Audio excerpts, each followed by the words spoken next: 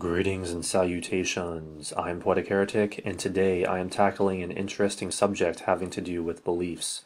From what I have observed, most people seem relatively clueless about where their beliefs come from or how they form.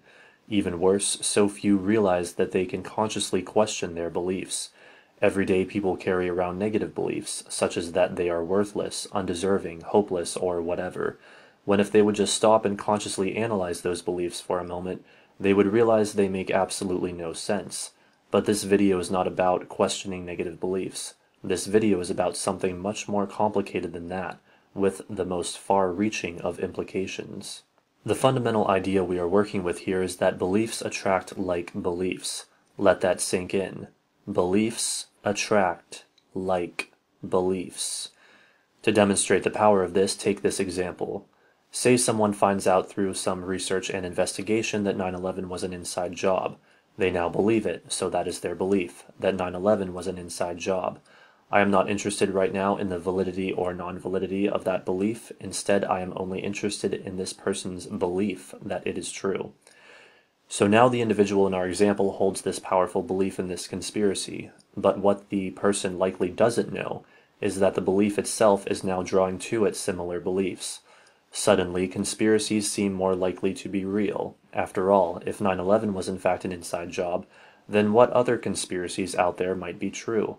So the individual in our example does some more digging, and suddenly he finds four or five more conspiracies that appear to have many facts backing them up. The momentum of the belief is getting stronger and stronger, likely without even the conscious realization of the individual.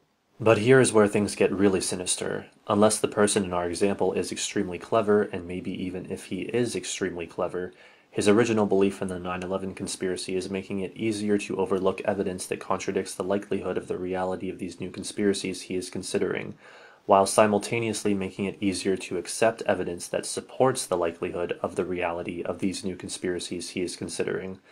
Things that once seemed somewhat outlandish now start looking plausible, even probable. Now I can imagine what some of those listening are thinking. You think that I am trying to say that believing in conspiracies is delusional. Actually, that's not what I am saying at all. In fact, far be it from me to say such a thing. If you have watched a lot of my other videos, you know my take on conspiracies. I am not calling anyone delusional here. What I am wanting to point out is that the devil, as they say, is in the details. So for the sake of those of you I just addressed, let's look at the opposite scenario. Let's take someone who believes in virtually every conspiracy they have ever heard of. Then let's say one day this person discovers evidence contradicting the reality of one of the conspiracies he believes in. Now his belief is, this conspiracy that I previously believed to be true is false. That then quickly becomes, if that conspiracy turned out to be false, what others may actually be false? Now, the reverse kind of belief is gaining momentum. Now he does more digging and finds more contradictory evidence to various conspiracies he previously believed in. Now, just like before, it is easier to accept evidence of his new belief that conspiracies may be false, and easier to reject evidence that conspiracies may be true. And again, he likely has no conscious awareness whatsoever of the momentum that his new belief is gaining. I am again going to attempt to read some of your minds. You are thinking that there is no way beliefs can gain such power if one is skeptical and weighs the evidence carefully. You probably believe that you are skeptical and weigh the evidence carefully. You may even believe that you have it all figured out. Well, I am suggesting that you are only partially right. While it is true that weighing the evidence for and against anything can help to slow down the momentum and power of a belief, it never negates it entirely. That is the point I'm really wanting to drive home. It never negates it entirely, even if you think that it does. You are always looking at reality through the lens of your already held beliefs. Even if you truly believed in nothing, as soon as you start looking at anything, it won't be long before you form an opinion about what you are looking at, and as that opinion attracts like opinions, it strengthens into a belief and then beliefs. There is seemingly no escape from this process. The conscious mind will always try to sort out and make sense of everything. It is my belief that that is how people can come to such extreme conclusions. They allow the momentum of their beliefs to carry them to greater and greater extremes. We might think it's an attractive idea that we can look at both sides of everything and try to find the truth, so that what we believe on every subject is only the truth, but for whatever reason, that appears to be the opposite of how the human mind and especially the universe at large operate. In many cases, however, this is actually a quite good thing. It is not healthy to hold contradictory beliefs. In fact, it is detrimental to one's mental, emotional, and even physical health. In extreme cases, it can lead to various forms of mental illness and personality disorders. If someone, for example, held the belief that they are not powerful, and not only are they not powerful, but they have little to no chance of becoming powerful, in their desperation to feel better, their conscious mind may split, in a sense, and formulate a belief that they are extremely powerful, in an effort to compensate for the unwanted belief. So now this person holds two very contradictory beliefs in their conscious mind. One says, I am powerful, and the other says, I am powerless.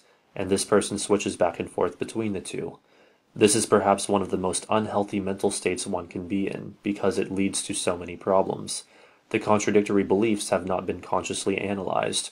Fortunately, the simple remedy in this situation is to do just that take an honest, no nonsense look at the beliefs one holds and identify any contradictions, and then make an effort to resolve the opposing beliefs. So it is my theory that the conscious mind's attempt to find harmony in its beliefs may very well be the biggest factor in the process that causes one to believe in things without proper analysis.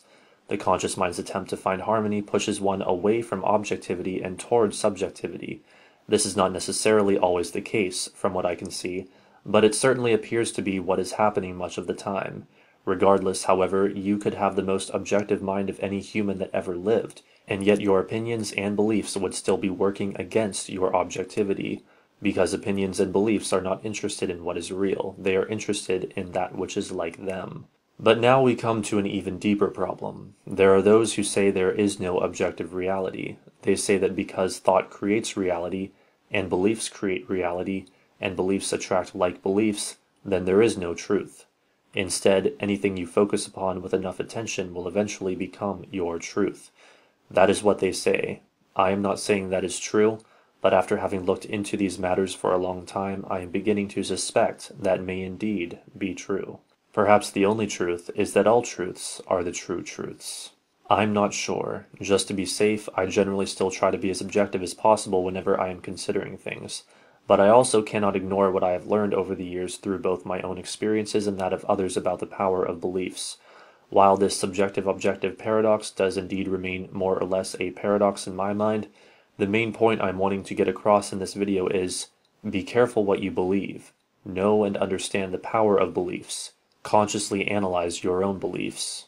Since beliefs at the very least create your perception of reality, choose them very carefully. Choose them wisely. Don't just believe anything without considering the implications for your own mental health and overall well-being. And even if you believe something unwanted to be objectively true, remember that you do not have to focus on it all the time, and that in doing so, if the belief creates any negative emotion in you whatsoever, you are doing harm to yourself and potentially others by continuing to hold that belief. I am not advocating that anyone put their head in the sand, I am only advocating that you take the information I have presented to you here and make up your own mind about it. After all, you are the one who ultimately decides what you believe. This has been a look at the power and influence of beliefs by Poetic Heretic. Don't forget to rate, comment, favorite, and subscribe, and thanks for watching.